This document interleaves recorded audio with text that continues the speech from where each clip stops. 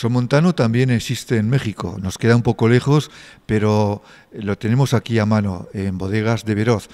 Eh, todos los años, desde hace unos pocos, es costumbre que de México vengan a Somontano, igual que de Somontano un par de veces al año, pues viajan representantes del Consejo Regulador de la DEO Somontano, entre ellos su presidente Mariano Veroz, porque, hombre, México, por lo que nos cuentan, es un mercado bueno para los vinos del Somontano. Si además de bueno es de calidad y la calidad la tenemos aquí en estas representantes, pues ya que vamos a contar de México y que vamos a, contar de Somontano. En Bodega de Veroz eh, estamos aquí con Sandra Fernández, responsable de todas las acciones de promoción y de imagen de la DEO Somontano en México. También estamos con Georgina Estrada, vicepresidenta de la Asociación de Sommeliers Mexicano. Diana Montelongo es una de las de las que forman parte de este grupo, de este equipo, y la vencedora del tercer concurso, el embajador de los vinos del Somontano. Porque, hombre, hay que recordar que tenemos embajador político, pero también tenemos embajador de los vinos, que no está nada mal. El nuestro es de alto grado, eso sí. El, político no lo sabemos. El nuestro, por los vinos y por aquello de asociarlo con los grados, seguro que es de muchos grados. Eh, la sumiller Michelle Rodríguez y también hay bueno, pues estudiantes de la Escuela de Hostelería y de Restauración SESA y la ganadora del segundo concurso El mejor maridaje de los vinos del Somontano, Michelle Ogando y Sandra García. Bueno, la verdad es que uno no, no está muy acostumbrado a estar tan bien rodeado porque con María no es habitual, pero tener aquí una delegación de mexicana de esta altura y de esta categoría, pues la verdad es que no se ve todos los días. Bueno, Sandra, Casi casi hemos estado hablando en esta introducción de México, del Somontano. Eh, ¿Cómo se ve Somontano en México? Claro, tú que nos vas a decir si eres la que tienes que vender la imagen lo mejor posible, no solamente de los vinos, sino también del territorio. Sí, claro, del territorio, de los personajes detrás de, de cada bodega, porque nosotras, una de las grandes responsabilidades es poder transmitir lo que lo que cada bodega es, lo que cada, el alma de cada bodega, los productos de cada bodega y lo que hay detrás de una copa de vino. Es una gran responsabilidad. El somontano se ve cada vez mejor. Nosotros empezamos acciones hace tres años y obviamente son acciones que están totalmente enfocadas a promover, a dar a conocer, a polirrelacionar, como bien has dicho, la región y las bodegas, pero al final esas acciones no serían de largo plazo y no serían tan posicionadas y contundentes, sino estaría habiendo un aumento comercial, que al final es lo que las bodegas buscan. Poder entrar al mercado, pero que cada vez las conozcan más y que cada vez se vendan más los vinos del Somontano y afortunadamente estamos ya en esas, en esa gran, en esas cifras, cifras interesantes para las bodegas y eso hace que nosotras podamos continuar nuestro trabajo. ¿Cómo se venden o con qué criterios vendes tú los vinos y sobre todo cómo has conseguido esa trayectoria ascendente para llegar a unas cifras que según dices son ya bastante considerables? Son considerables y eso ha hecho que las bodegas quieran seguir manteniendo las acciones que hacemos. Eh, tenemos diferentes aspectos y diferentes sectores en donde abocamos todas las acciones. Inicialmente, eh, para mí lo más importante fue llegar a un acuerdo con la delegación del Somontano sobre cuál era el nicho al que íbamos a atacar en dónde nos íbamos a diferenciar, cuáles eran nuestras fortalezas comparado con otras regiones que pudieran estar mucho más posicionadas y que llevan mucho más tiempo haciendo acciones. México es un país que está recibiendo inversión no nada más de regiones vitivinícolas españolas de todo el mundo, porque es un mercado ascendente, porque es un mercado joven, porque es un mercado en donde se puede hacer un trabajo muy profundo. Y el somontano sabiendo que, compite con la, con la fortaleza y posiblemente inversiones de muchísimo dinero y de mucho peso, necesitábamos encontrar en dónde íbamos a ser efectivos y en dónde íbamos a ser diferenciadores. Y creo que nuestro gran acierto es haberlo hecho en los jóvenes, en la gente que está estudiando, la gente que tiene la capacidad intelectual de poder entender una copa y, y poderla profundizar y poderla estudiar, en gente que está de la mano día a día con la gastronomía y en los jóvenes del futuro de México que afortunadamente tienen un, un paladar muy universal y que no están casados con una zona y que no están casados con una bodega y que puede, puede ser el somontano parte de de su estrategia también, no nada más profesional, sino de su estrategia, de su estilo de vida. ¿Quieres decir entonces que los vinos de Somontano en México son un elemento diferenciador respecto a otros? Sin duda. Y yo creo que eso ha sido parte del éxito, porque nosotros como campaña hemos llegado, creo yo, humildemente lo, digo porque me lo, me lo estás preguntando, pero yo creo que el somontano ha logrado entrar de la manera más más efectiva comparada con otras regiones a un sector joven con una capacidad de respuesta muy rápida de lo que han hecho otras regiones que llevan más tiempo. Bueno, también es, también es importante la apuesta que ha hecho el Consejo Regulador por unas cadenas muy definidas que además tienen mucha clientela, ¿no? Así es. Eso y también el producto que ofrecen. Yo, yo creo que una de las grandes defensas cuando yo em, estuve en pláticas para tomar la representación del Somontano, para mí era muy importante primero entender el producto, entender la zona y que yo me vinculara y que yo creyera antes que nadie en los vinos y en el proyecto para yo poderlo transmitir.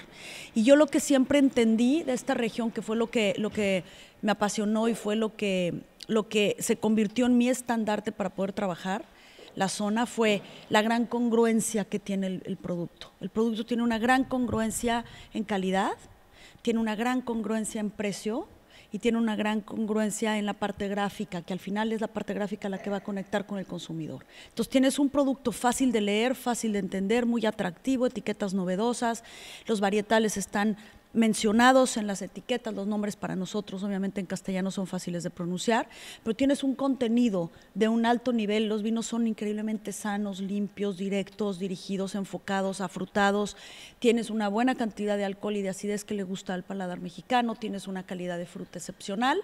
Y después tienes un precio maravilloso, el vino, lo que, lo, que, lo que bebes es lo que es. Y si vas a beber un crianza, vas a beber un, crianza en plenitud o un reserva en plenitud, pagando un precio increíblemente correcto, inclusive mejor de lo que pagarías por otras regiones vitivinícolas. ¿Y ¿cuáles son los gustos, no me digas marcas, sino gustos del consumidor mexicano, qué sé yo, hacia los rosados, los blancos, los tintos? ¿Cuál es la tendencia así más atractiva? Por historia, ha sido el vino tinto el más posicionado y en cuanto a dar un perfil de gusto, te diría, número uno, vinos potentes, estructurados, con alta pigmentación, con notas de fruta, pero también notas de barrica, golosos que llenen la boca y que se sientan con una gran intensidad y potencia alcohólica. Ese es un gusto. Este, el mexicano, un gusto adquirido, un gusto entendido a través de cocina, cultura. Ahora, Hoy podemos decir que el mundo está cambiando en cuanto a la preferencia por blancos y rosados.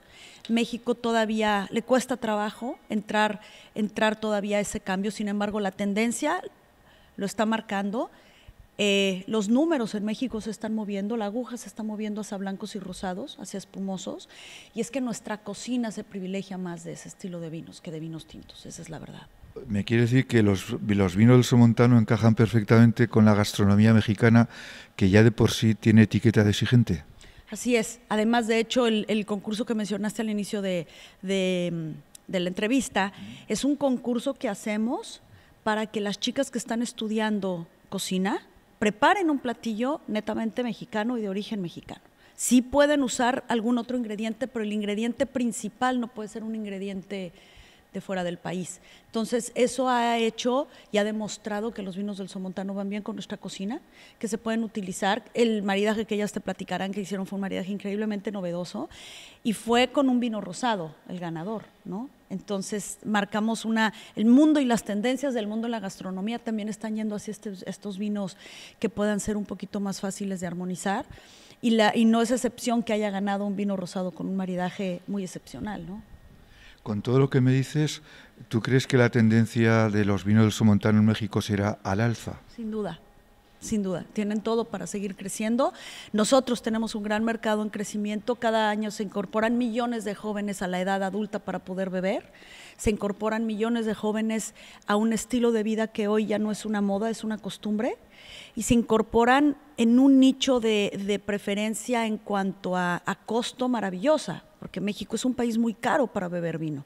Hay muchos impuestos, hay más de 45% del coste de una botella son impuestos. Entonces, si tú de origen partes de un producto con un excepcional precio, se convierte en un producto verdaderamente diferenciador en presupuesto. Antes de preguntarle a Mariano Veloz, que es el presidente del Consejo Regulador, ¿tú le aconsejarías, naturalmente pienso que sí, que siga en esta apuesta por un país como México, donde además eh, la exigencia del consumidor, por lo que tú cuentas, no solamente está contrastada, sino que además va en aumento. Sin duda, va en aumento. Yo creo que hace cuatro años cuando empezamos en pláticas ellos ya veían a México como un país eh, exponencial, un país con potencial de crecimiento, cosa que no está sucediendo en otros países del mundo. Veían un mercado joven y yo creo que también veían una, un hambre por, por poder, cuando haces las cosas organizadas, coordinadas y con inversión, hay una reacción positiva porque hay un mercado en crecimiento. Bueno, Mariano, acércate un momentico porque si no el micro, es que el micro no da para tanto, luego cambiamos también la, la, posición de las sillas. Con todo lo que dice Sandra Fernández, pues yo creo que no cabe más remedio que seguir en esta apuesta por México, en un mercado que cuéntanos, recuérdanos cómo lo descubristeis y por qué eh, habéis continuado con esa tendencia alcista que cuenta Sandra.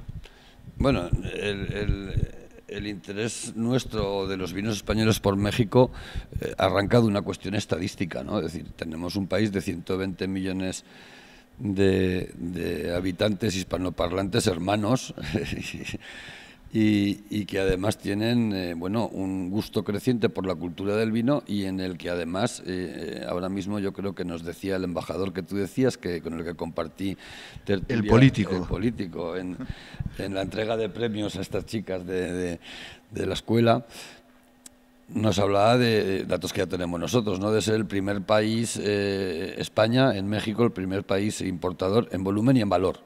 Decir, hay ahí un caldo de cultivo interesante por esa cuestión de afinidad, ¿no? Evidentemente, eh, desde hace 25 años ya son las primeras bodegas que llegan a Somontano las que empiezan a hacer el principal esfuerzo por, por salir, por invertir y por atacar mercados lejanos. ¿no? Viñas del Vero y Enate quizá fueron las precursores, inmediatamente después también Bodega Pirineos, inmediatamente después de, reconvertirse la cooperativa en, en sociedad anónima. ¿no? Ese es el arranque, ¿no? La primera incursión en México es una incursión, por decirlo de alguna manera, privada, ¿no? Es una... Quizá de ahí deriva eh, el interés de las propias bodegas por ir de forma colectiva, ¿no? Ellos saben que para estar en México es imprescindible tener un buen vino, tener una buena marca, pero también tener un sello, un paraguas común de, de una marca pública, ¿no? Es decir, una denominación de origen como Son Montano, que conforme se iba prestigiando en España, nos íbamos quitando pudores y miedos de, salir fuera, bueno, por la convicción de, lo que, de, lo que muy bien ha explicado Sandra, ¿no? de tener magníficos productos con una magnífica relación calidad-precio, con unos fantásticos packagings, y entonces, bueno, ya los primeros resultados de esas primeras incursiones en las grandes bodegas que tuvieron la suerte de, ser representadas por, por, estas grandes cadenas que tú comentabas al principio y que era un magnífico escaparate como tal escaparate, pero también comercial. ¿no? Eso hizo que ya algunas bodegas empezaran a tener cifras importantes de venta en México. Y al final el interés de la DEO no es sino la suma de los intereses de las bodegas, es decir, la DEO no tiene un interés particular por nada que no sea el interés de, las propias, de los propios operadores, tanto viticultores como bodegas. A partir de ahí fue fácil ¿no? ponernos de acuerdo en, en que México tenía que ser uno de los países prioritarios a atacar, más cuando coincidió en el tiempo una serie de ayudas de la Comunidad Europea para subvencionar acciones de promoción exclusivamente en países terceros, es decir, en países no comunitarios. Porque no hay que olvidar que nuestro principal mercado de exportación sigue siendo Europa. Sigue siendo Europa, pero para nosotros es más fácil, es más próximo, el etiquetado es el mismo, no hay... Eh, bueno, en, las ferias, grandes ferias del mundo, pues son muy próximas por las ferias de Francia, de Alemania, de Italia, de España, donde esos mercados ya se fueron trabajando y además no había ayudas, ¿no? Y, por eso se decidió México, se decidió México, se decidió también Estados Unidos y, hombre, a ver, es significativo que, por ejemplo, en la reunión del Consejo de ayer eh, estamos reflexionando seriamente sobre la posibilidad de retomar un importante esfuerzo de comunicación dentro del país. En España vendemos todavía el 70% de nuestros vinos y tenemos un poquito abandonado ese esfuerzo ¿no? de comunicación. Y lo queremos retomar y es donde vamos a dirigir una, parte importante de, de, de, los recursos que tiene el Consejo, que al final son recursos que también aportan las bodegas. ¿no? Pero también es cierto, y eso un poco confirma lo que dice Sandra, que dice, si vamos a hacer un esfuerzo pequeño, mediano o, grande fuera, va a ser priorizando México, ¿no? Porque al final la gente o las bodegas estamos más dispuestos a hacer un esfuerzo mayor en aquellos sitios donde vendemos más, ¿no? Pero siempre atendiendo a, esas cuestiones, ¿no? Es decir, son países terceros, la Comunidad Europea nos sigue interesando, pero no, no hay ayudas para y que luego tenemos que buscar ayudas para seguir fortaleciendo nuestra marca en nuestro país. Pero desde luego, si hay un país que va a mantener un cierto esfuerzo por el Consejo, va a ser México. O sea, México sigue, es el país ahora mismo donde más vinos del Somontano eh, se venden o se exportan. Es que, claro, eh, hablar de vender vino en cifras absolutas no, siempre es garantía de decir, porque al final una bodega puede tener un gran cliente de volumen, de menos precio en un país y tal, pero eso no es hacer mercado ni marca. Seguramente México sea el país donde los vinos que llevamos las bodegas están mejor posicionados, es decir, primero están muy atomizados, no es el, gran pelotazo de una cadena de alimentación que de repente a un precio barato te vende eh, un barco de vino, sino que estamos haciendo la labor que bien explicaba Sandra y con la compañía de, de todos la gente que se va sumando ¿no? al proyecto, un posicionamiento más de prescribir, de, boca a oreja, de estar en sitios representativos, de participar en acciones en las escuelas de escuelas que allí son universidades, es decir, en España no, pero ahí estamos hablando de universidades de hostelería, ¿no? tanto restauranteros como, como en, mesa. ¿no? Entonces, bueno, es donde quizá de los países terceros tengamos un mercado más interesante y donde realmente podemos pensar en, en valorizar nuestros productos y en hacer, además de mercado, marca además de mercado marca, ¿no? porque con estas acciones de promoción no hay que olvidar que siempre se persigue construir marca. Vender va muy bien, pero el pelotazo y la venta gorda que luego mañana, pues por como no llegas con precio, te cambian del lineal, ese nos, nos, nos dice menos ¿no? que el ir haciendo marca. Para vender hay que tener una buena cosecha y lógicamente estando con Mariano Veroz hay que preguntarle por la vendimia que ya ha terminado prácticamente, las cifras estimativas casi definitivas y las posibilidades de lo que queda de año en cuanto a cifra de ventas. Son preguntas bastante normales por otra parte. Sí, sí, pero bueno, todas de fácil respuesta hoy, ¿no? Porque nosotros siempre tenemos una virtud que acertamos las previsiones exactas el día siguiente de la vendimia, antes es imposible. Entonces ahora ya tenemos cifras exactas y nos hemos encontrado con una cosecha de, de, más de 18 millones de kilos, casi próxima a los 18 y medio, es decir, una cosecha incluso un poquito superior a la del año pasado, ¿no? cuando hemos estado barajando cifras siempre de un pequeño descenso, que luego íbamos a decir menor descenso, menor descenso, bueno, al final un poquito más, ¿no? Ya advertíamos que el regadío, pues normalmente el 60% del viñedo que tenemos en el regadío compensa estos años de estrés hídrico, compensa un poco esas normas que puede tener el viñedo en el secano, ¿no? Pero es verdad que vamos a tener una cosecha como consecuencia de la sequía con una uva muy sana, ha entrado la uva sana en las bodegas, estamos hablando de bodegas que tienen todos los medios técnicos y humanos para sacar el más potencial y va a ser al final, yo creo, buena en cantidad y en calidad. Las ventas, eh, efectivamente, estamos creciendo, estamos creciendo. Yo creo que si mantiene este trimestre en torno a cifras en torno del 10% de, de aumento de ventas, pero yo, hay por encima de todas estas cosas, una cuestión que destacaría, ¿no? y que ayer lo repasábamos también con el informe de vendimia en la reunión del Consejo. ¿no? Tenemos bodegas este año funcionando que hace unos años pues tenían dificultades y que no funcionaban, que este año, por ejemplo, como anécdota han recogido más de 4 millones de kilos de uva. Es decir, esos 4 millones de kilos de uva significa que de no haber retomado la actividad estas bodegas, pues habría habido dificultades para colocar esa producción, habría influido en los precios no tendríamos tres o cuatro bodegas más con medios técnicos, con medios esfuerzos en temas comerciales, no solo para producirlo, sino para venderlo, ¿no? Creo que la buena noticia de la DEO de este año es esa, ¿no? Vamos a tener una calidad de cosecha buena, en cantidad suficiente, pero además con muchos más actores para trabajar en el futuro, en el futuro de la DEO que no se labra, sino con el presente, es decir, con más medios, con más gente, con más bodegas y con más ventas. Bueno, Mariano Veroz es que nos ha pedido que habláramos con él antes, pues porque además tiene que salir de Barbastro y vamos a dejarle, bueno, pues que cumpla con sus obligaciones profesionales. Nosotros seguimos aquí con la delegación mexicana. ¿Alguna cosa que comentar, que destacar a esta delegación mexicana que tienes aquí en tu bodega? Bueno, nada, yo siempre en esto soy muy pudoroso, casi eh, extrañamente ha coincidido hoy por los horarios que la, que la visita o la entrevista o coincida con eh, nuestra bodega, ¿no? Siempre intentamos pues que sean las, las bodegas mayores las que pues eh, tengan un mayor protagonismo, ¿no? Porque también hacen un mayor esfuerzo. Pero bueno, me ha tocado y estoy encantado. Solo tengo que decirles dos cosas, darles la bienvenida, darles las gracias y, y pedirles que sigan acordándose de nosotros cuando vayan allí en su casa, porque nosotros vamos a hacer lo propio, nos vamos a acordar de de ellos.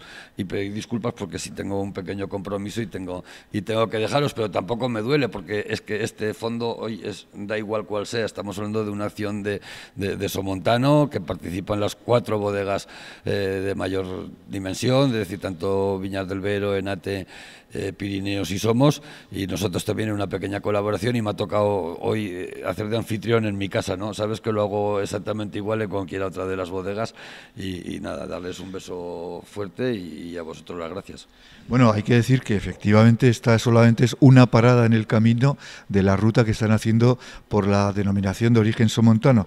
Concretamente, pues van a, van a visitar, o está previsto que en algunos casos ya lo han hecho, las bodegas de Viñas del Vero, Enate, Somos eh, Batán de Salas, que es donde estamos ahora, con su anfitrión, La Lane y además, pues como es natural, eh, la propia ciudad de Barbastro, eh, la localidad de Alquezar, como no van a ir al Somontano sin conocer la colegiata de Santa María y todo lo que rodea Alquezar, que es una, una visita, además de emblemática, casi obligatoria. Y luego, pues lógicamente, en la otra ruta está la ruta mariana eh, que les lleva hasta el santuario de Torrecidad.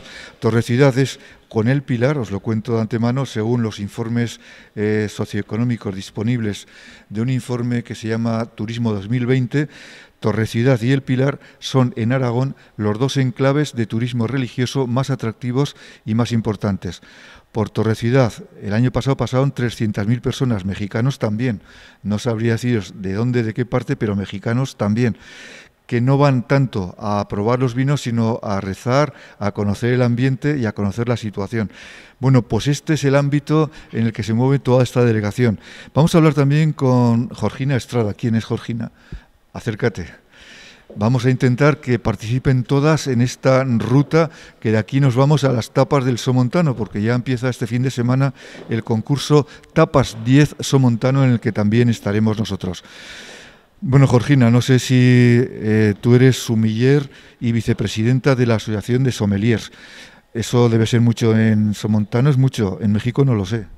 No, estoy encantada eh, con esta visita, feliz de poder participar en esta campaña junto con Sandra y el equipo de trabajo para seguir promoviendo y coadyuvando ¿no? para el posicionamiento de los vinos del Somontano en México a través de la asociación. Con esto que ha dicho Sandra y con esto que ha dicho Mariano, es como para estar tranquilos. Sí, bueno, todavía siempre hay cosas que hacer, ¿no? Siempre hay que innovar, hay que eh, seguir trabajando. Sin embargo, creo que el trabajo que se ha hecho hasta el día de hoy ha sido muy favorable para los vinos de la región. ¿Qué queda por hacer? ¿Qué aconsejaría tú que eres, en este caso, pues la, portavoz, la representante de, los, de una asociación de sommeliers? ¿Tú qué consejos darías o qué, o, qué apuntes habría que tomar nota?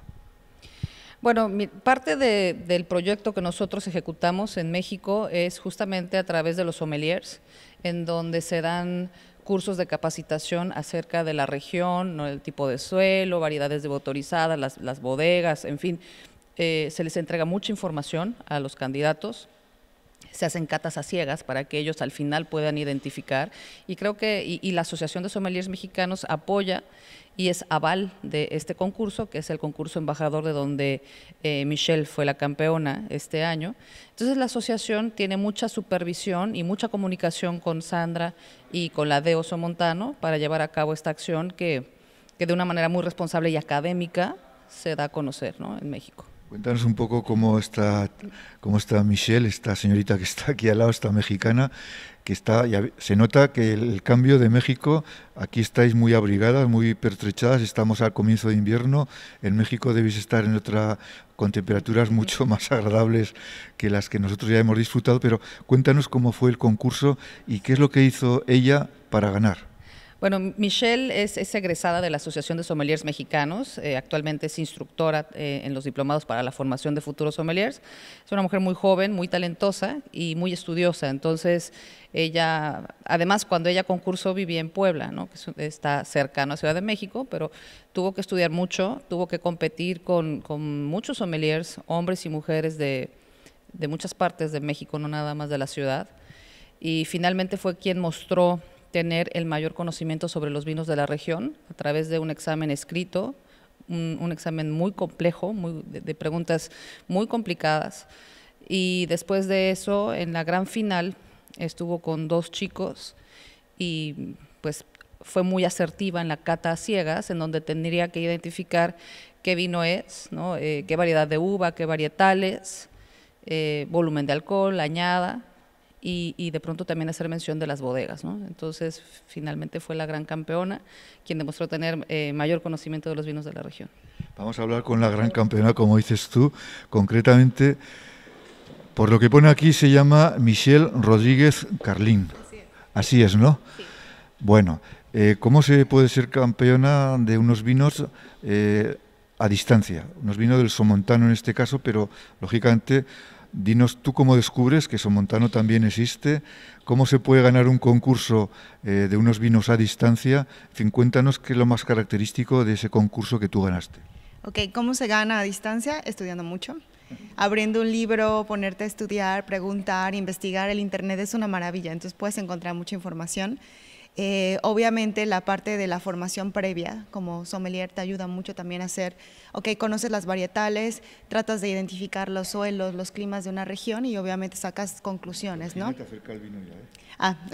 Está, en todo, ¿eh? Sí, por supuesto. Y en cuestión de, de, lo que tuve que hacer, bueno, ponerme a estudiar muchísimo, nos, el Consejo Regulador y obviamente el equipo de Sandra junto con Diana nos mandó información estuve estudiando, memorizando muchas cosas y bueno, eso fue principalmente, ¿no? La, cuestión de tratar como identificar cuáles eran las características propias de la región y ya la había escuchado, yo había sabido de la denominación de origen, no me había dado el tiempo o la oportunidad de poder encontrar un poquito más o ahondar más en la información. Y cuando me puse a estudiar y cuando me puse a probar y cuando me puse a buscar los vinos en diferentes tiendas para probarlos, para conocerlos más, quedé completamente sorprendida. ¿Por qué te sorprendió en esos vinos de Somontano? A ver. Uno, porque es una denominación de origen muy chiquita. Eso. Y dije, wow, es una denominación que es tan pequeñita, pero aún así está haciendo este tipo de esfuerzos, porque lo son, es un esfuerzo realmente muy grande, para hacer que se puedan dar, a a conocer en México, ¿no? Eso se me hizo fantástico. Dos, los varietales, que son no son como tan comunes encontrarlos a lo mejor en España, ¿no? Gewürztraminer es una uva que usualmente no es de, obviamente, española, ¿no? La encontramos en Francia, la encontramos en otras partes del mundo, pero cuando dije, ok, denominación de origen somontano con Gewürztraminer, la voy a probar. Cuando la probé dije, wow, es una de mis favoritas, entonces dije, es, es muy buena expresión la que podemos encontrar aquí, ¿no? Oye, y cuando, eh, cuando ya estás aquí, en esta tierra que, somos, que es somontano, de lo que tú conocías a, distancia, de leer en el, por internet, de lo que te han contado, a la realidad que es la que estás pisando ahora, ¿qué te ha parecido? ¿Te has llevado sorpresa? ¿Es muy diferente a como tú lo imaginabas? Porque claro, eh, por internet las cosas y los productos se venden muy bien. Pero aquí, una vez aquí, ¿qué te ha parecido? ¿Qué sensaciones tienes? Emocionada total. O sea, es, es, increíble ver cosas en internet o ver, en un libro y cuando tienes la oportunidad de estar enfrente de la gente que los hace, de oler cómo, se, cómo son los tanques de fermentación, cómo huelen los mostos, todas esas cosas, obviamente te cambia completamente la perspectiva. Es, es como si estuvieras soñando y de repente estás en el sueño, ¿no? Viendo esas cosas. En lo personal me encanta ver, por ejemplo, una botella de vino tiene mucho sentido cuando ves la uva, cuando ves la región, pero cuando conoces a los productores, cuando ves las, las caras, cuando sabes sus nombres, cuando comiste con ellos, es, es una sensación completamente distinta. Cada botella de vino ahora tiene más sentido. Y obviamente estar aquí le da un sentido completamente diferente al hecho de decir denominación, denominación de origen somontano, prueba los vinos. Yo ya sé lo que es estar aquí, el clima y todo. Es que además habéis coincidido justo unos días después del final de la vendimia, todavía oléis pues eh, lo que son los vinos, oléis las faenas, todavía llegáis a la cola incluso de ver las últimas cosas que se hacen, pero mm, de todo ese cúmulo de sensaciones, ¿con cuál te quedas en especial?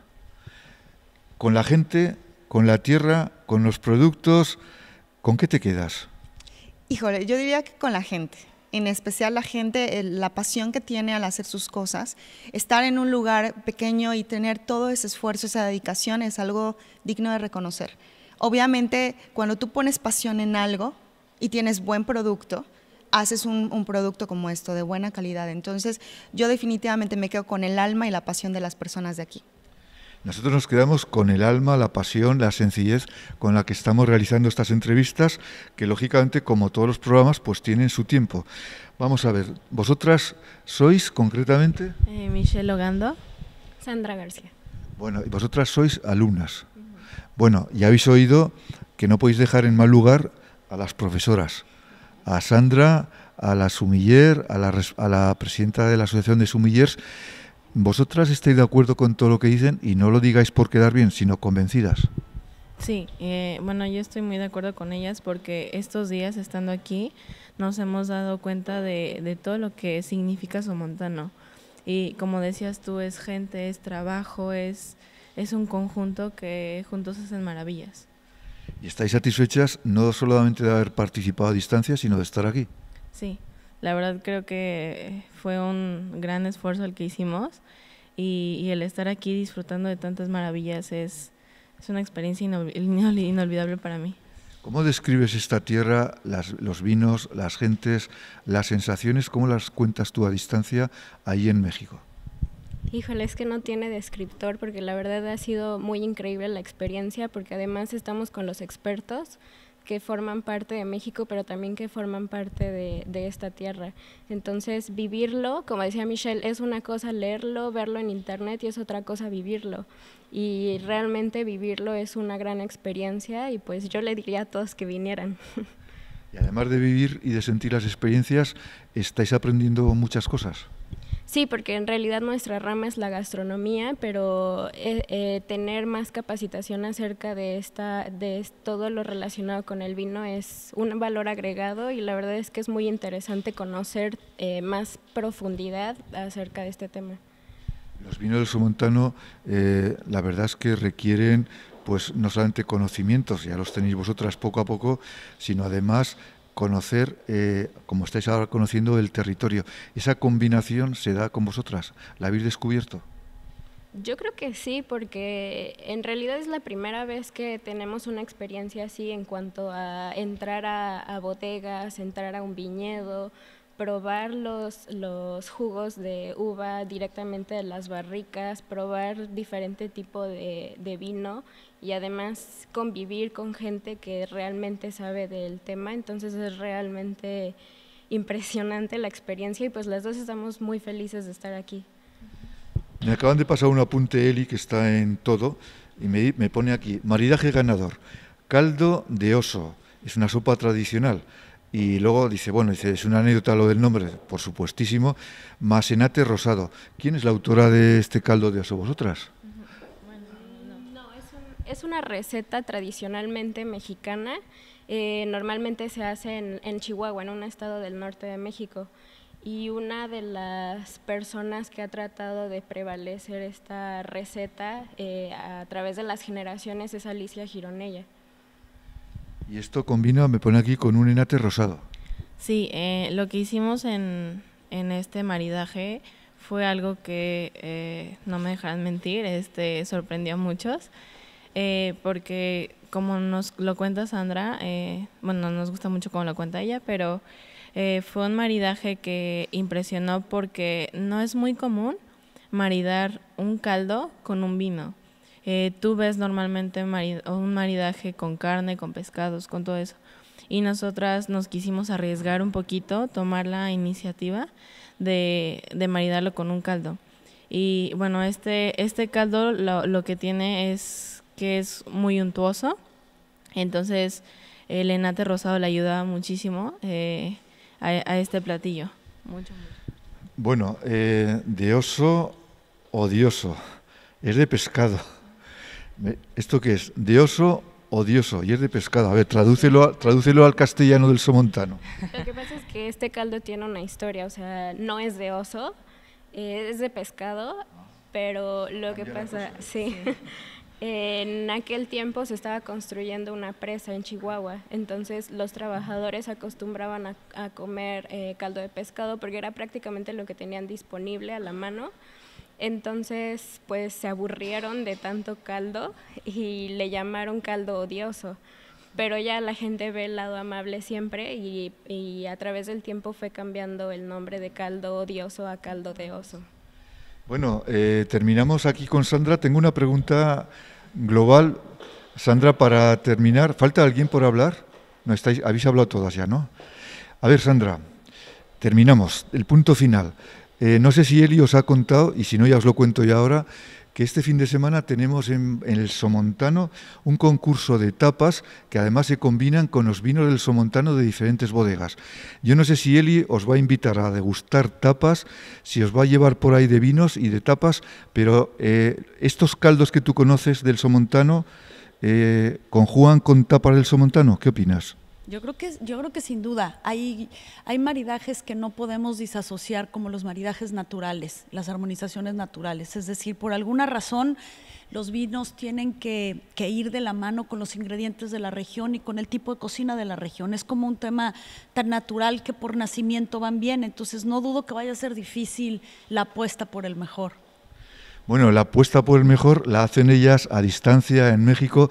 Nosotros también hemos apostado por llevarles hasta la cocina que decíamos antes a esta delegación mexicana que nos acompañan en su ruta por las bodegas de la denominación de origen somontano. Muchas gracias a Sandra, a Georgina, a Diana, eh, a, mm, a, ver, a Michelle y a Sandra que nos han acompañado en esta, en esta ruta. Nosotros dejamos los vinos, nos vamos a las tapas, pero todo queda en Somontano. Muchas gracias desde, en este caso, bueno, pues desde el anfitrión que es Bodegas Batán de Salas, pero en la ruta de Viñas del Vero, Enate, Pirineo, Somos, La Lane y además, ya lo hemos dicho, Barbastro en sí, Alquézar y Torre Ciudad.